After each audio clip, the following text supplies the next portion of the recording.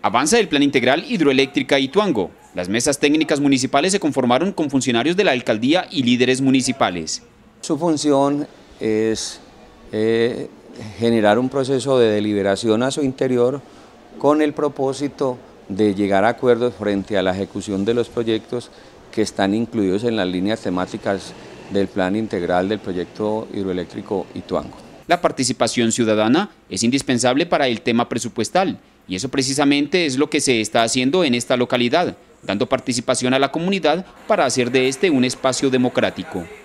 Que las juntas de acción comunal o las personas que han sido elegidas democráticamente por sus comunidades eh, son representativas de las mismas y por ellos también tienen algo que decir y algo que proponer y sus propuestas tienen que ser tenidas en cuenta para poder definir los proyectos. La inversión en los proyectos estaría iniciando aproximadamente en un mes.